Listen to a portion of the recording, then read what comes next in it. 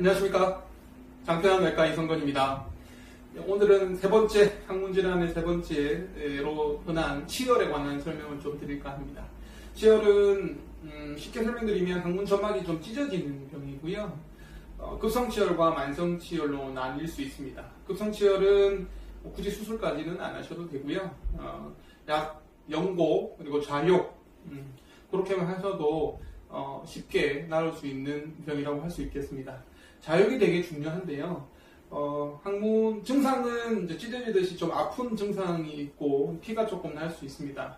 항문 대장문 외과 전문의에게 오시면 항문경으로만 쉽게 진단할 수 있고요.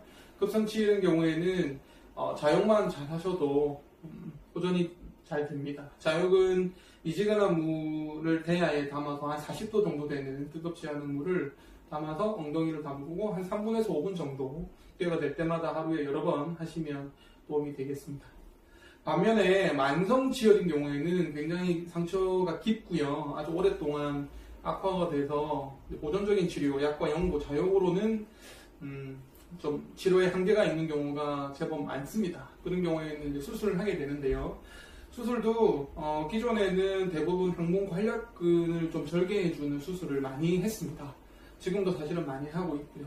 하지만 이 관략근을 절개하는 수술은 나중에 나이가 들어서 관략근 기능이 떨어지면서 변실금을 야기할 수 있는 음, 그런 부작용이 있을 수 있습니다. 물론 흔하지는 않지만 그래서 저는 관략근 절개술 하기 전에 뭐 요즘에 이제 조금씩 각광받고 있는 뭐 보톡스 치료라든가 피판 이동술 같은 수술로 진행을 하고 있고요. 어떻게든 관략근 손상을 최소화하기 위해서 노력하고 있습니다. 만성치열은 음, 수술을 할 수밖에 없지만 관략근의 손상을 최소화하는 수술이 먼저 선행돼야 되겠고요. 급성치열은 수술 없이 좌역과 약하고 연고로만 충분히 어, 치료받, 치료될 수 있겠습니다.